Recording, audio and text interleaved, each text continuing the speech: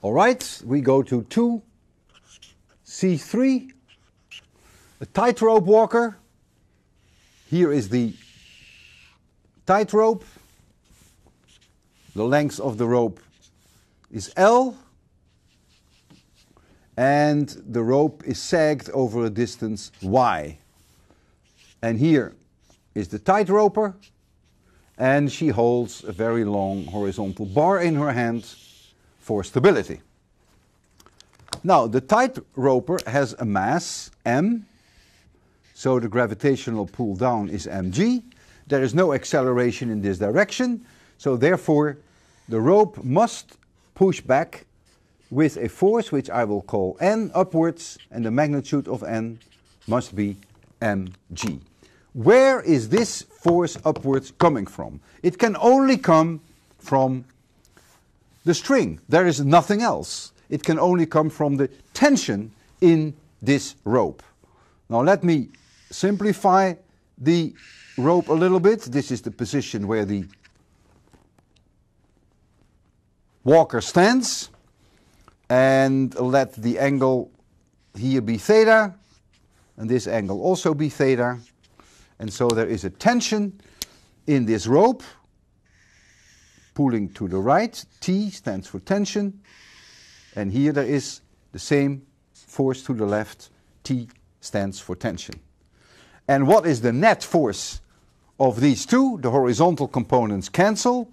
The vertical component is this force plus this force. And the net force vertical N equals 2t times the sine of theta. On any given point of the, of the rope, the tension pulls both to the right and it pulls to the left with equal strength. If that were not the case, there would be a net force at that location of the string and a net force would give it an acceleration. In fact, if the point had zero mass, it would give it even an infinite acceleration. So the force, the tension to the right and the tension to the left must always be exactly the same. Suppose I cut here this rope, and at the location of the cut, I put in a spring.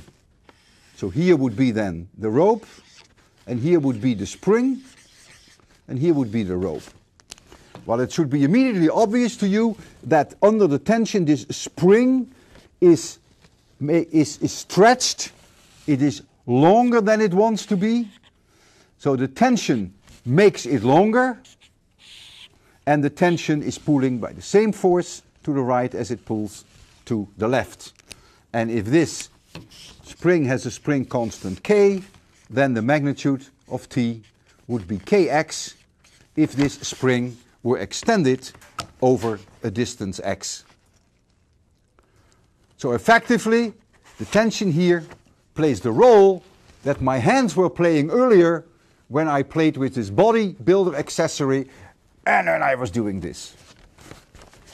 So always keep in mind that the tension, whenever you deal with tension in a rope or a string or a spring, it is both to the left and it is to the right time check on the button.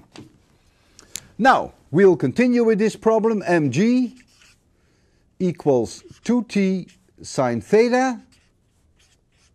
And in case that y is much, much smaller than L, the sine of theta is approximately y divided by 1 half L. So if theta becomes 0, notice that the tension goes to infinity, because this is a given. Well, this of course is impossible. It would mean that theta is zero, that y is zero.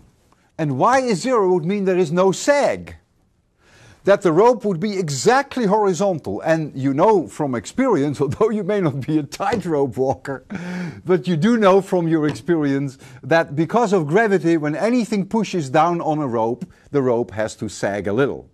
So theta equals zero is just impossible.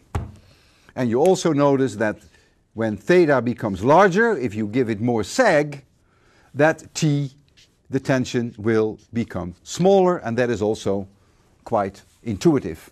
And then you have a specific example that the book wants you to work out, gives you a certain value of L, of Y, gives you a value of sine theta, which I found to be approximately 4 times 10 to the minus 3, which gives you a theta of about 0.2 degrees, about 12 arc minutes, and that then leads to a certain value of the tension, applying that equation.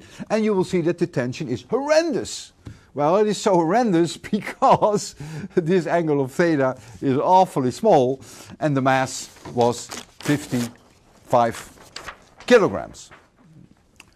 Try your intuition on this, and I think you will agree with the ideas that the smaller theta, the larger the tension will have to be.